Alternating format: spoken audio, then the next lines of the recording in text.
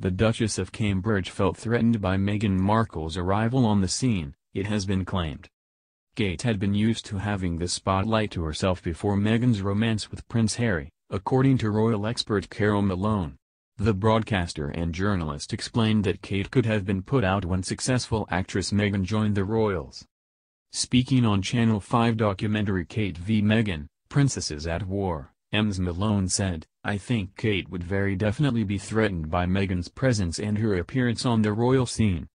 I do think if you had been the top dog, if you had been the young gorgeous girl that everyone had been photographing for the last two or three or four years, you might be a little bit put out when this gorgeous, American, Hollywood star arrives on the scene. The broadcaster and journalist added that the two women are very different characters. Ms. Malone said, Kate is the quintessential English Rouse. She went to private schools, she was never a feminist in the way Meghan is, she never was outspoken. Meghan on the other hand is a driven girl. She came from a totally different kind of family. It was dysfunctional. Her parents were divorced and Meghan had to strive for everything that she got so they are two very different characters. The claims come amid rumors of a royal rift between Meghan and Kate.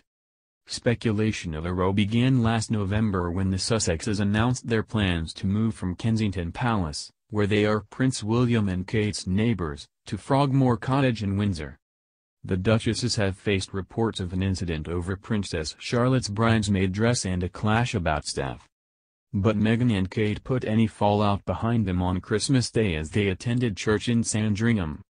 The two women chatted and laughed together as they stepped out for the morning service. And their friendly display could put an end to speculation of tensions.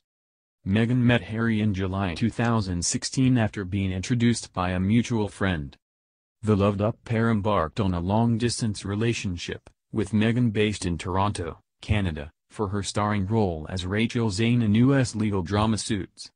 They announced their engagement in November 2017 and their spectacular royal wedding followed the next May. Meghan is expecting their first child in the spring.